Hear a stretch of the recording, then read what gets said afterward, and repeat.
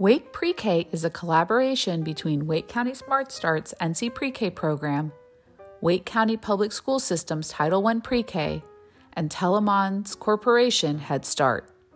Wake Pre-K provides a one-door entry into three publicly funded pre-K spaces in Wake County. The collaborative partners work together to identify the best match between the needs of each applicant child and family and the publicly funded pre-K program. NC Pre K and Head Start have income eligibility requirements, and Title I pre K classrooms at Wake County Public Schools consider academic need. To be considered for all programs, families must apply by June 15th. To apply, visit the Wake Pre K Application Center webpage at wakecountysmartstart.org and click the Apply Online Here button. This button will take you to our secure online application platform, BridgeCare. Once you submit an application, you will receive a confirmation message through your BridgeCare account.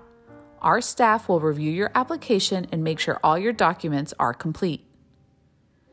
If you apply before June 15th, Wake County Public School staff will send you a screening appointment date and time. Your applicant child must complete the screening to be considered for spaces in Wake County Public Schools Title I pre K classrooms. The collaborative accepts applications year round. However, to be considered for all programs, you need to submit your application by June 15th. For applications received by June 15th, the collaborative partners review the applications, screening results, and needs of children to find the best placement for the child. Families will receive notice of eligibility, placement, or waitlist by August. For children that apply after June 15th, applications will continue to be processed and students will be considered for NC Pre K and Head Start classrooms.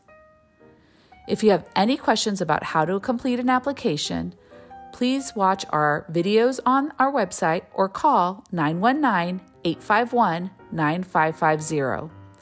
Thank you and we look forward to helping your child on their path to a successful pre kindergarten year.